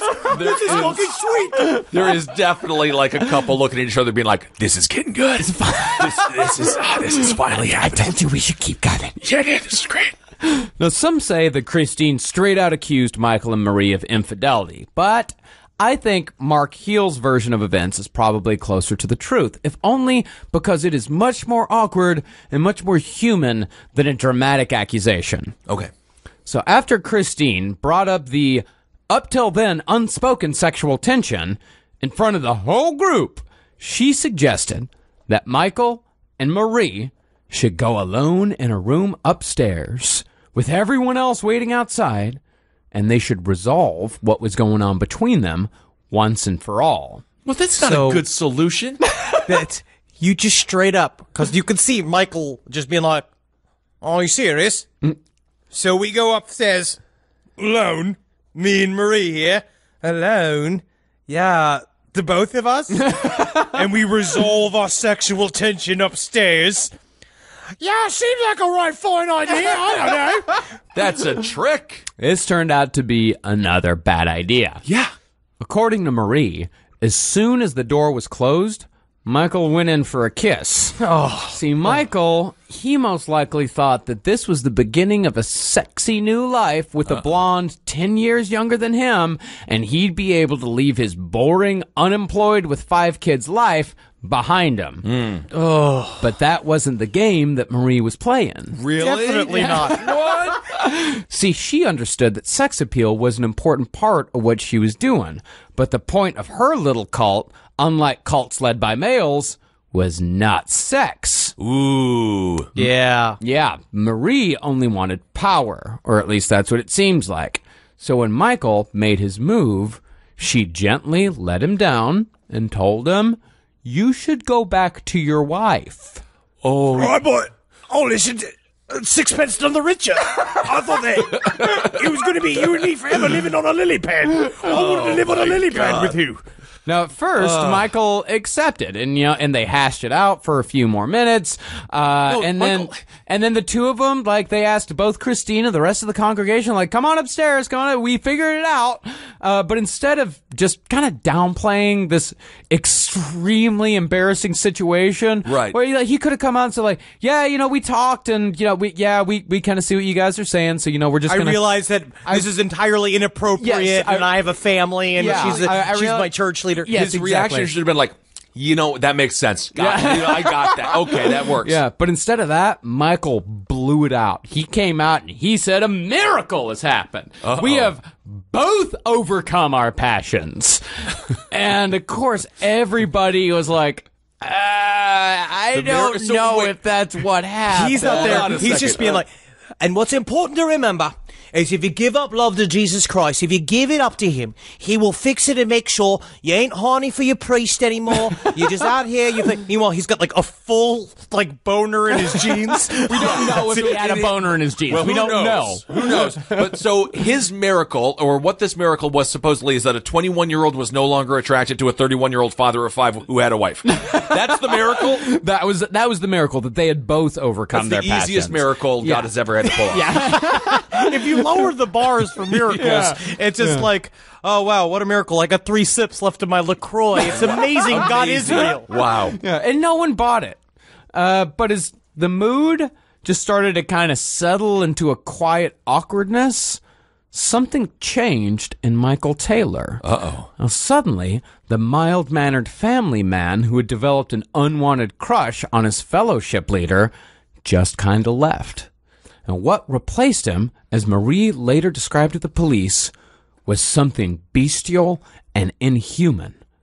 Upon seeing the sudden change in Michael's eyes, Marie fell back on her old standby and just started screaming at him in tongues. But to her surprise, Michael did the same.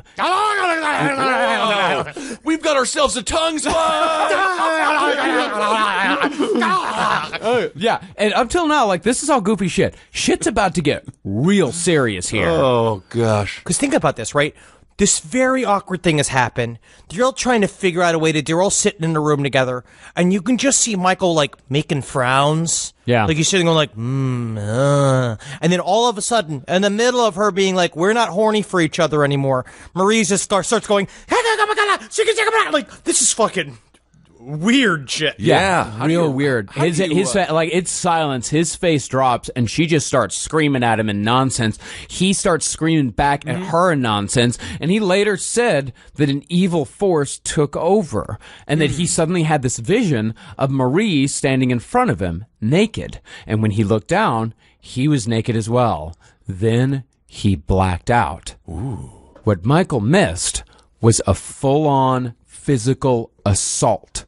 He slapped Marie, then tried ripping her apart, started pulling her hair, and he's screaming in tongues as the rest of the prayer group, i including his wife, is trying to hold him back, trying to pull him off. And Marie, she's just cowering in the corner. She's just saying Jesus over and over and over again. She's trying to fend off the attacks the best she could until finally Michael was pulled away. Michael came to his senses and the police were called, but no charges were filed and everyone just went home. Well, that's. Yeah, how, what do you do back at the house? I don't know. What does it was- Christine say to the kids when it comes? They were at Michael and Christine's house. So everyone never else just do left. this shit in your house. You gotta go. Yeah, that's really awkward. Like when a couple has a fight in front of you, and the, but that's this is a lot worse than that. Even Okay, time for us to go Gotta home. Go. No, no, dinner isn't over yet. I made a creme brulee. Okay. Well, Uh, of course, this part of the story is pretty simple to figure out. Man develops a crush on a girl, girl rejects man, man reacts like a childish animal because he doesn't get what he wants. And as such, you know, we are by no means excusing Michael Taylor's behavior here. It's hard to believe that Michael Taylor would have reacted like this had Marie Robinson been leading a Bible study group where they all just sat in a folding chair circle calmly discussing scripture. See, when Marie Robinson introduced exorcism and demons into the group, she opened up a dangerous fucking door, as this was obviously a group of highly suggestible people looking for someone to tell them what to believe. Hmm. And when Marie introduced the concept of demons, inhibitions that may have prevented Michael Taylor from acting like this were suddenly subject to the supernatural. And he just like a lot of people in this world who commit terrible acts, he could now blame it all on the devil. Then, to make matters worse, Marie showed up on Michael Taylor's doorstep the morning after the attack to tell him that she forgave him for what he'd done because he hadn't been in control, which completely confirmed that it was not Michael, but the devil who hmm. actually did it. And then, can you imagine being Christine Taylor? This woman fucking shows back up after all of this shit, and you're just like, just get the fuck out of here. We're done. We're done with this shit. Yeah, because that's what Christine Taylor said. She, she was she had had enough of this shit, and I think that Christine and Michael had quite a long discussion after the Sure. prayer group had left that night. Wouldn't So want to tell be in me, that. Michael, I got a fun little question for you. You possessed by the devil now? No. right? You possessed by the devil now? Tell me, tell me again. I want to see it. I want to see it again. You tell me. Look me in the eyes. Are you possessed by the devil right now? No. So we're gonna go watch American Horror Story. We're gonna catch up on the new season. Can we just go back to doing that, please? Yes. oh, that's not so bad. Haunting on Hill House, by the way, very good uh, television show if you want to binge that. Very good. I would recommend it as well. But yeah, so Christine Table, Taylor, like she just told Marie Robinson, like, you need to get out of here. You need to get out of here. You need to leave us alone and Right. never come back. Okay. But even though Christine Taylor was trying to minimize the impact of Marie Robinson, the damage had already been done. Uh-oh. And there were still other people in town who were about to make it a whole lot worse. Why don't the people ever make it better? Is that possible that they could do that? Yeah, they, I know, man. We're bad at it. I see. Yeah. Hey there, Marcus Parks here for Quip. Something strange has been happening to you. Your plants have been dying. Old friends suddenly start avoiding you, and there seems to be something downright foul smelling in your apartment. No, you aren't possessed. You just haven't been brushing your teeth right. That's where Quip comes in. Quip knows most of us don't brush our teeth the way we should, so their team of dentists and designers built a better electric toothbrush. What makes Quip so ghoulishly great? Quip electric brushes have a built-in two-minute timer that pulses every 30 seconds to give you the heads up that it's time to switch sides, making sure you get your dentist recommended two minutes of brushing in and ensuring you get a full and even squeaky clean. Quip comes with a multi-use cover that sticks right to your mirror, shower wall, or just about anywhere and unmounts to slide over your bristles for fresh breath on the go. And you're going to want that cover because Quip is perfect to take along on all your adventures. Quip doesn't use a clunky charger and runs for three months on a single charge. Best of all, brush heads are automatically delivered every three months for just $5, making sure you keep your dentist happy by not using the same gross same old gross toothbrush for years. Now I gotta say, I really didn't think that an electric toothbrush would fall under things that I can't live without, but Quip is so small and the charge lasts so long, now I can't imagine traveling for our live shows without it. You know, I used an electric toothbrush for a while, but the damn thing was so huge and bulky that I couldn't ever take it with me. I had to go back to regular old toothbrushes when we go out on the road. But now, with my Quip toothbrush, I can take it anywhere when we're out there in America entertaining you fine folks. And that's why I love Quip and why they're backed by over 20,000 dental professionals. Quip starts at just $25 and if you go to getquip.com slash lastpod right now, you get your first refill pack for free with a Quip electric toothbrush. That's your first refill pack free at getquip dot com slash lastpod. So, following the incident with Marie, Michael Taylor had a complete break from reality. First, he destroyed all the crosses and religious books in his home, reacting violently towards anything religious. After that, he started hanging around outside his house, acting erratically and telling his neighbors that he'd seen the devil. Uh oh. Hey, hey, hey, come, hey, what you doing, Phil? How you doing? Hey, lawn's looking great. Yeah, I saw the devil yesterday. Yep. All right. I can do a cartwheel too. Whoa, whoa. Is that fun? I was like, oh, I'm throwing French fries in the grass. I don't even know where I got the French fries from. I took them out of a garbage can. In England, they call them chips. Isn't that wild? Oh, Isn't that crazy? Yeah, and since this was a small town, word of Michael's behavior, including the night that he attacked Marie, reached the priest in charge at St. Thomas. Hmm. That priest was Reverend Peter Vincent, who was a known exorcist in the Anglican Church who'd been performing deliverances for years on anyone whom he felt needed one. That is a coinkadink. Look at that. A little bit. And when he heard about what happened and what was still happening with Michael, Reverend Vincent became convinced that a demon was on the loose. Hmm. So he and his wife took a trip over to the Taylor house. But when they got there, they found that Michael had flipped the whole thing. Now, Michael was saying that Marie had tried to seduce him Uh-oh. in front of his wife. And in addition to that, Marie was actually a closet Satanist. What? And Reverend Vincent believed every word. And that oh. belief was reinforced by his wife, who absolutely despised Marie Robinson and everything sense. she stood for. Well, I mean, honestly, I wonder if his wife was like, "You better just call her a Satanist immediately and denounce this woman." I mean, who knows? Maybe it was a, a, a dual plot. Yeah, I don't know, man. Well, both of them firmly believed that Marie had sicked a demon on Michael. Hmm. Now, as Marc Heal points out in the Sussex Devils, and I think this is important to remember here, before all this happened, Michael Taylor didn't even go to church. Hmm. All this shit happened in the span of about two months. Now, is that a normal time? Thirty-one years old. If you are like a schizophrenic or something like that, would that be a normal? I thought it was the early it's twenties. much, much before that. This guy was not a schizophrenic. Okay. He, I, I, I do, I do not believe personally that he was a schizophrenic at all because schizophrenia shows up in late teens, early 20s. And he didn't show any signs before that. He had intermittent depression. And even then, it wasn't necessarily clinical depression, it was more uh, conditional depression. Okay. And this guy, after never going to church before this, he was now becoming convinced that a Satanist had planted a demon inside his soul. Ooh. Yeah, God. Don't eat any of the food at the potluck. they might have a demon seed in it.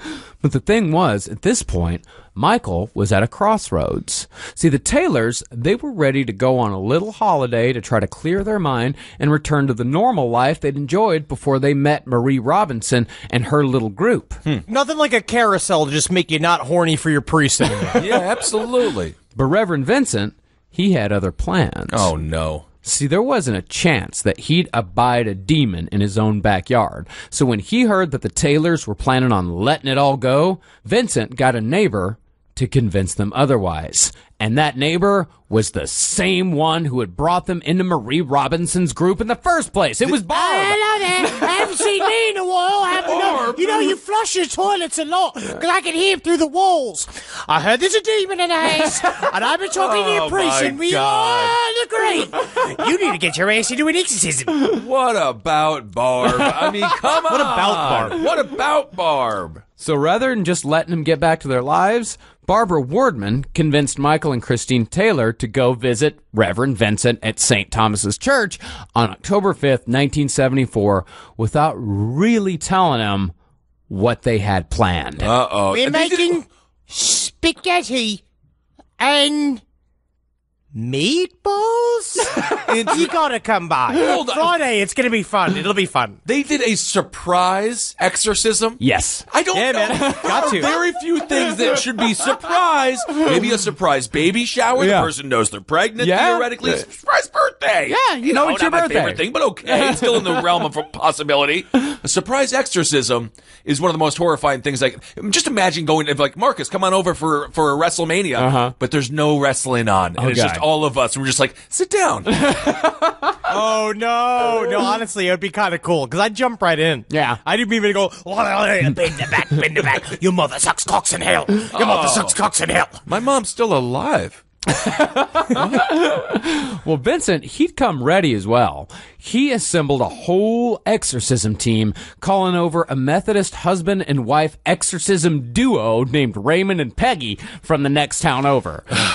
This is great. It's just Love like- Raymond and Peggy, man. they got they got fanny packs. They're fully ready for it's all filled with all of their nooks and sundries for their exorcism. Well, Vincent's wife joined in as well, and they rounded it all out with a dude named Don James as an assistant. Hey, I'm Don. Hey, Me? I don't do anything. I got a couple of dozen, uh, got a couple of dozen seltzers here. Got some. You guys want any snacks or anything? I made a kale salad. I don't know. It's I'm done. Again, anything you need, just let me know. So they've assembled some sort of Avengers super troop here. Yeah. Of spiritual leaders, I guess. Yep. So when the Taylors showed up that night, the group sprung the trap. This was not just a friendly meeting. This was an exorcism. Hold on here, guys. Now, Michael immediately reacted by throwing his tea in the Reverend's face. then he kicked the Reverend's cat, and then he punched him in the face as well. If you throw if you throw your tea in England, that's a felony. Honestly, You'll go to the that's attempted murder because they keep that tea at like 290 degrees. That's why they have to sip it. Yeah. So the team grabbed Michael, tied him up, and laid him down on some floor cushions in an office in the church and waited for midnight to come. Why did you schedule this for nine? if you wanted this to be a midnight thing, you could have had us come at eleven thirty. Because now I'm just struggling here. I'm going to be struggling for two and a half hours. You got me all mad. Yeah, and then Donna's like, at what point does this become kidnapping, everyone? Well, it was their professional opinion that there was an enormous evil emanated from Michael, and that evil was most likely because, unbeknownst to Michael, Marie had somehow pledged him to Satan. oh, of course, of course. So, starting at midnight, the exorcism team took turns drawing the demons out from Michael Taylor. They made him confess to sins he had never committed, and when he confessed to such sins, they shoved crosses in his mouth. That'll work every time. Then they took the last cross that Michael owned, a wooden crucifix he wore as a necklace, and they burned it. Oh. Because they said that it had become infected by Satan. That was my cross. Please stop burning my things. I'm ready to stop being a devil. A devil now. I'm ready to stop. No, unfortunately, your couch. We also got to burn that. That, that has been infested. Please leave my things alone. My No. couch did nothing. It's always been there. got that new it's flat always screen. supported me. New flat screen TV there. Possessed. got to burn that. So after they burned his cross, they went down a list of demons that needed to be cast out, and they took care of the demons one by one. They took care of incest, bestiality, blasphemy, lewdness, heresy, masochism, and especially lust, as they'd all made their homes within the soul of Michael Taylor. And there's one demon just called Elton John. Very interesting. It's a little bit funny. thank you, thank you. This feeling inside. Ah. And they just sit and let him do all of that song. But the thing was, they weren't saying he had necessarily committed all these sins. What they did believe is that without this exorcism, these demons would eventually cause Michael Taylor to commit each and every one of hmm. these sins to the fullest of their imaginings, using the same line of reasoning that Andrea Yates used to kill her five kids. Oh my god. We're doing this for you. yeah. This is all for you. Okay, this is this is spiritual pre-crime. Mm-hmm. Now, I tried looking up a few of these demons in both my dictionary of demons and around the internet to see who some of these guys were, and I got some very interesting results. Ooh. Byleth is said by some to be the demon of incest. But that might just be because of a 1972 Italian horror flick called Il Demone dell'Incesto, which, according to a reviewer named Humanoid of Flesh, has plenty of softcore sex and a whole bunch of full frontal nudity. Oh, okay. Noted. I got that. Thank you for the review. Now, I could find no demon specifically of bestiality, but according to many of the Christian websites I visited devoted to such things, it is likely that the bestiality demon is a cat. Because Oh. there are apparently a lot of Christians fucking cats out there and blaming it on a bestiality demon. Don't fuck the cat. I don't really understand what's even on? so sexually interesting about a cat. its asshole's so small. I know that it's supposed to be tighter. Ugh. I guess that's good. I don't think I it is don't- good because it's screaming and clawing you the whole time, Well, unless I- it's dead. Yeah. And then don't have sex with the dead cat. It will be dead if you do that. yeah, just don't fuck the cat. Is this Don't a do it. PSA? Did we- is this an advertisement? We've done this before. We're saying it again. We always have to whip this out every couple of years or so. A refresher. Right. Leave the cats alone. That was brought to you by the state of New York, paid for by Andrew Cuomo. Blasphemy, though, belongs to Baalberith. Blarbarith? What is that No, name? no, no. Barbarous. Barbarous? Barbarous. No, he's Hell's Minister of Treaties. Why'd you give me the fat name? You know I'm fat. He is Hell's Minister of Treaties, Kissel. He is the notary for the devil. Then Yeah. he's definitely fat. Notaries are notoriously large. Oh yeah, he's the go-between when a man sells his soul to Satan. I see. He's literally what for your pretty face is going to hell. Yeah. He is like one of the people, one of those people he'd go where his job is to keep the files. Yeah. So he's an office worker in hell. So my my obese claim stands. Yeah. And lust, of course, belongs to Asmodeus, Okay. who runs all of Hell's casinos. Yeah, Oh, I want to go. yeah, like Steve Wynn. Oh my god. Welcome Playing to this- Wynn and Encore Resorts. Nothing but total opulence. This here rose sculpture has over 75,364 individual roses. Each piece of crystal shipped from all over the world. Over 79,495. If you stay at the Encore or the Wynn Hotel in Vegas, they have this long thing with Steve Wynn where it's him describing each piece of of art in the casinos, and then he goes and he names each tiny particle that's in it. And the best piece of art, this toupee that I'm wearing.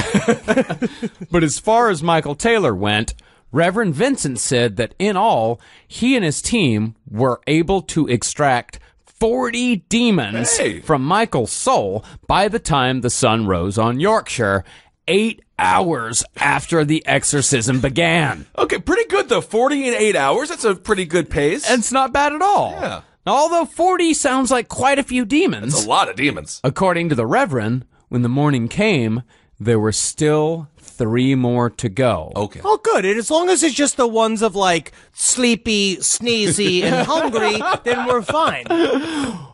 The thing was, the deliverance crew, they were tired because oh. they'd been up all night battling the devil. Oh, of course. That's exhausting. Yeah. so I get it. It was agreed that all of them, including Michael Taylor and his wife, should go home, get a few hours of sleep, and they'd all meet back up that afternoon to take care of those last three demons. It's not Yeah, a it's long only three left. It's not a long game of Monopoly. Just finish the damn thing. No, they're tired. There's only three left. But if you they can got- get to those. If they did 40 in 8 hours, that's they got another 90 minutes of work to do. It's union. Oh, you don't think these guys are not union?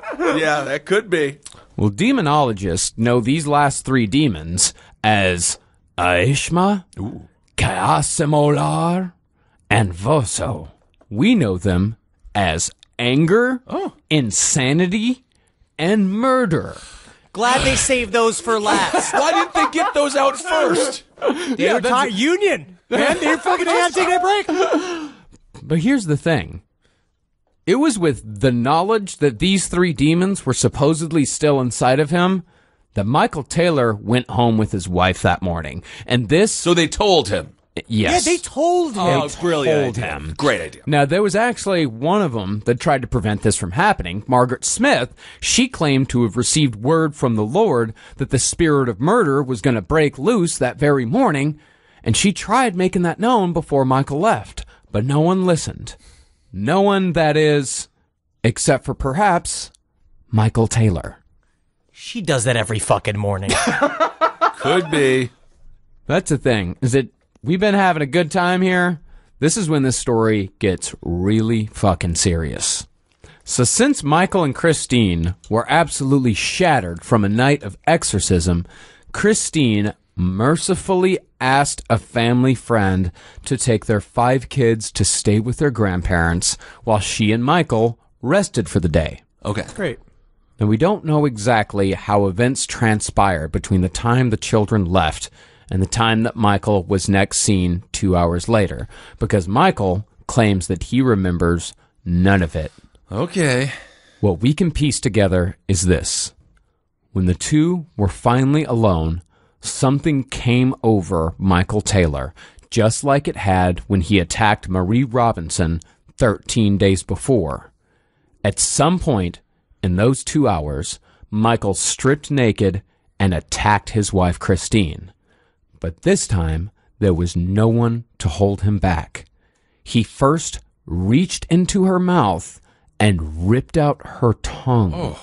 Then, as she lay on the ground, choking to death on her own blood, Michael Taylor gouged out her eyes and ripped her face to shreds with his bare hands, flinging strips of flesh around the room as they came free from her skull.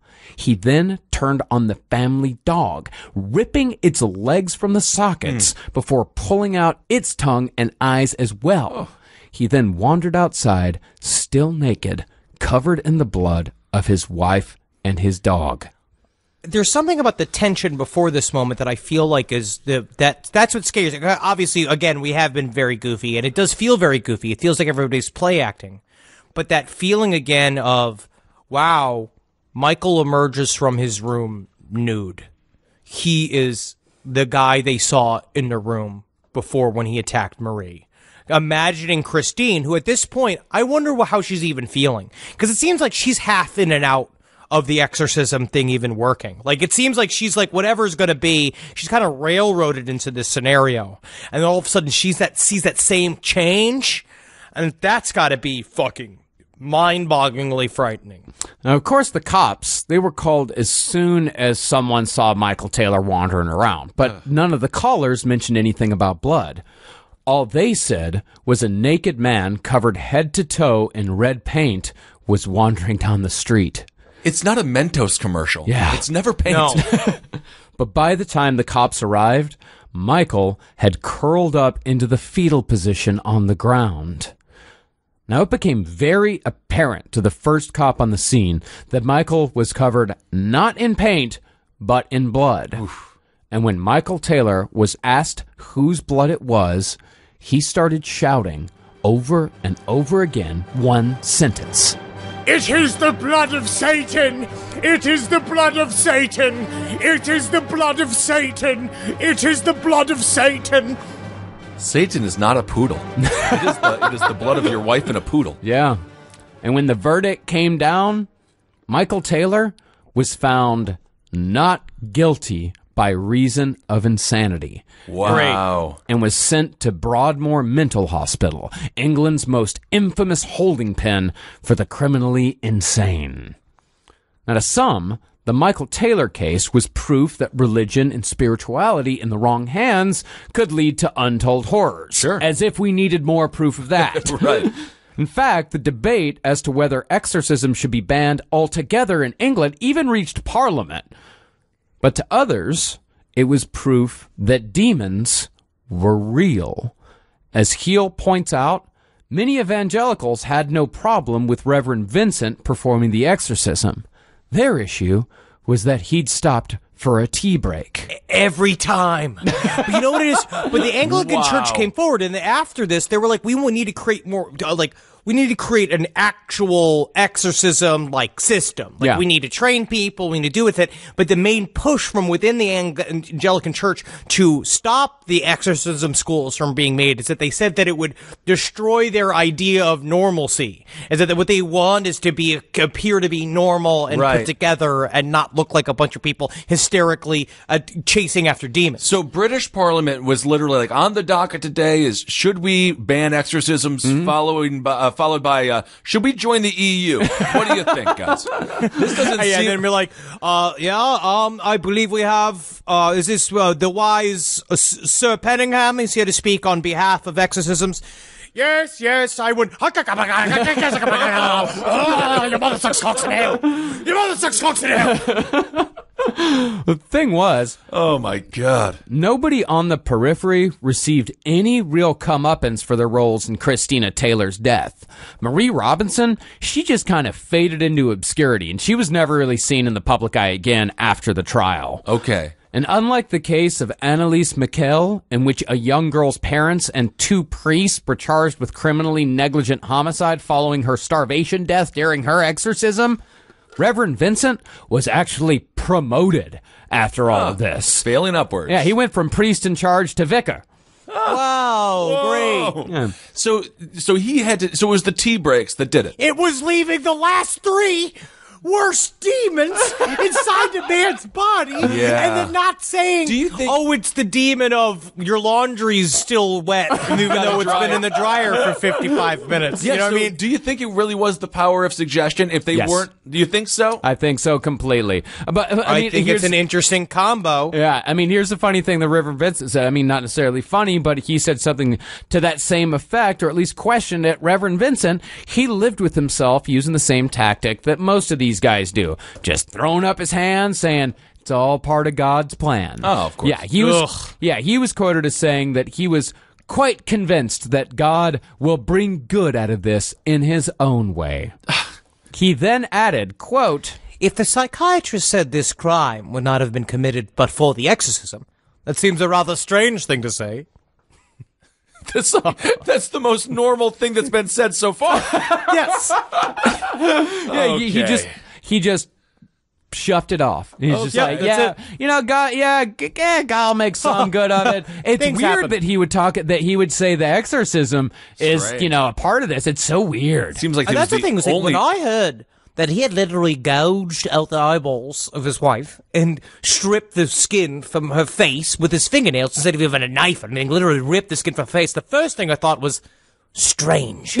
Very weird. Very strange indeed. Perhaps tellingly, though, the Michael Taylor case was the last recorded Anglican exorcism in England. And as far as Michael Taylor's punishment went, he was back on the street in four years. Oh, yeah, that's all he needed, man. he just goodness. needed a breather. All right? right. He had a lot of shit going on. He Right. just needed to cool his heels, do some reading, work out, do the La Machina Yeah, uh, in the in the yard. Did, do we know if he ever got the three out of him? Uh, yeah, I guess. Did he do something where he's like, "Oh, they're out of me now"? no, I mean, he didn't say for sure. Okay, just I can like feel like he eight sits in the- times in the mirror, and, like he look sits in left or group something. therapy and they ask him that. It's like, do you feel that the demons have expressed from your body? And he's just like, hold on a minute. All right. there goes one. All right. It's strange. It's funny, right? Having fun. Well, Michael Taylor did two years in Broadmoor and another two in a secure facility in Bradford before being set loose to blend back into society. Hmm. The reason why he was let loose is because Michael's doctors believed that Michael had hyperventilated during his exorcism, which caused a temporary break with reality. That, combined with what they called hysterical pseudopsychosis, temporarily induced by his exorcisers, created within Michael something that may as well have been a fucking demon for all the damage it caused. Sir saying it's a demon. All right, I guess it is a demon after all. Yeah, as far as what Michael's been up to since, he has pretty much spent the last 40 or so years trying to kill himself. Uh, tried everything from wrist cutting to bridge jumping. I think he's got four suicide attempts on his record. Uh, He was last in the news in 2005 for indecently touching a teenage girl. Uh, but after that, who knows? I mean, he may have finally succeeded at suicide in the last 13 years, hmm. or he may have died of natural causes, but chances are Michael Taylor is still alive somewhere in England, praying that his demons will never return. I tell you what, now instead of killing my wife, I'm just killing it at the gym. you should see me flip that tire. All right, there it is. The possession of Michael Taylor. a lot of things went wrong there. But Many everything things- that could go wrong in an exorcism went wrong. Yeah, absolutely. Many things went wrong. And I mean, this is a fascinating uh, exorcism case because it, I mean, Yeah. it doesn't necessarily have uh, the the speak. It doesn't have like the strange languages or the superhuman strength or anything like that. Like this is a, Well, you know, it seems the- like an uh, an outside influenced exor- outside influenced possession. Although it does seem like the the ripping of his wife's face off and the tongue, that's a little superhuman. Oh, no, It's you a could do that. lot. You It's could go lot. home and do that to a human right now. Rip out the tongue? It's Either not- one of us two. It cannot be that easy to rip Any out a one of us can. You can do it. I can't do- it. Believe in yourself, Kissel. I think that it's interesting. I believe this is again. It's a fifty. Uh, I mean, this is all opinions. Yeah. Every single time we talk about this kind of shit, I think that the idea of the man-made and the psychic mixed with the spiritual in a way all collide together to make it real. That a part of it is the the you have to you have to choose the behavior in order to make it real. I think that's a part of what, instead of it being these sort of anthropomorphized, like things with uh, entities with personalities that exist outside of you, it's a chicken and the egg thing where those creatures, the idea of a demon, the idea of a, a negative entity are there because of the actions of humankind and that the the constant feedback loop is what sort of makes them real. Stuff like this makes them real because in a way you have named the demons, you've given them the thing, now they have fucking a body count attached to them. That's given them spiritual fucking magic juju.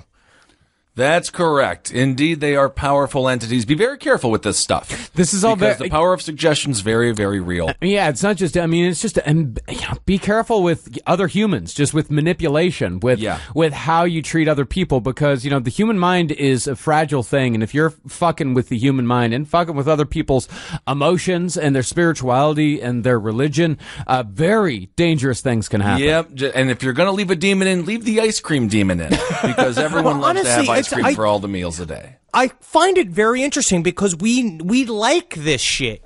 We like this type of drama. We talked about a little bit of this uh, when we were doing our discussions. It's kind of like methamphetamine. Is that when you get into meth, you add instant drama to your life. There's something about being boring. The idea of joining in all this kind of group activity too, the, between the the church and how everybody came together for the exorcism and like all these people paying attention to you. It's like he it was feeding into all of this. Well, shit. just get into football, European football if you're in the UK, and then you can just be a fan about that. By the way, football also has a lot of body counts as well. Yeah. Speaking of uh, uh, energy there of people. Um, all right, everyone. Well, thank you all so much for listening. That was great stuff. Ah, yeah, man, great Okay. story. What do we have to talk about? We have to talk about the little tour we're going on. Is everything We're sold getting to- out? I don't. I don't think so. I Okay. think may, maybe I know Chicago is, and Okay. uh, Austin might be, but I think we still got tickets for uh, Dallas, Awesome. uh, Oklahoma City, Great. and Indianapolis. Dallas and uh, Oklahoma City. That's going to be on the seventh and the 9th of November. Those are coming up very soon. Yes. Uh, the Well, we got tickets the are DC selling first. Out. Well, DC is sold out as well.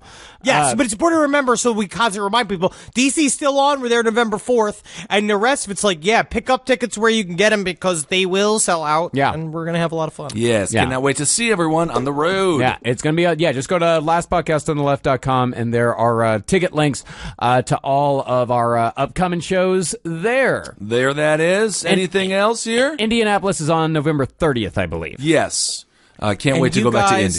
It's Halloween. This is the this is the fun weekend because you get to like just you get to party this weekend. So go dance, uh, cavort, wear your um, mass revel in your anonymity, and feel the presence of ghosts. As this Wednesday, the veil between the worlds is thinner than it shall be for the rest of the year. Too bad it falls on a Wednesday, but that's fine. That's fine. You know what? The demons can only do so much. Which uh, wins the party? Is it this weekend or is it next weekend? I This don't know. weekend. You know what I noticed? For me, it's Remember this how weekend. The Simpsons used to always do the Treehouse of Horrors the weekend after. Drove me kind of nuts. Now they do it the weekend before. That's nice. So I think that's better. It's much better. because better. once Halloween is over, now everyone's got Thanksgiving stuff up, and some folks even just jump right to Christmas. A lot of people jump So, right to Christmas. yeah. But you know what? Yeah. If they want to jump right to Christmas, let them. Oh, I don't care. Do whatever the heck you Do want whatever to do. the fuck it is they need to do. Yeah. you know, I don't need to see all these turkeys all around making me all hungry every step I take. Mm. I just miss it's skeletons and then it's nothing but plump food. Yeah. it is like it's October to November is totally different. Skeletons great for my diet. Mm. Yeah. That's something to aspire to, which I'm not doing a good job of. That's fine. It's fine. Um, all right, everyone, check us out on Instagram. Uh, ben Kissel one, Marcus Parks for everything. Marcus Parks, Doctor Fantasty, Henry loves you on Twitter. and then All the fucking what are we? bullshit. Last podcast on the left. Uh, all the things you can find Give us. Give us money on Patreon if you feel that we deserve it. Yes. Well, thank you all so we're- much for we're doing working that. hard to give you as much fucking bullshit as we can sling at you, motherfucks. Okay, well, So- I don't know why you're aggressively yelling at You this. fucking- you just, you asked fans for money of and they- ours. You asked. I don't know what. Don't, don't yell at the people who pay who help pay our rent. It was a, it was a I like strange strategy to request money and then call them fucks. I felt like I was on the L train, uh, which is good. Hail Satan. Yeah, and, and for our Patreon this week, we have a great interview with the guy who uh, wrote the book Automating Humanity, uh, really uh, Joe Toscano. So uh, check out that interview. Henry and I always love to do those, and we try to do one every week. Yeah. Um, all right, everyone, hail yourselves. Hail Satan. Hail Geen, patreon.com slash last podcast on the left. Ooh, magustalations. Hail me with your dollar bills, please. And thank you to everyone who gives already. Of course. And happy Halloween! Oh my gosh. Happy Halloween!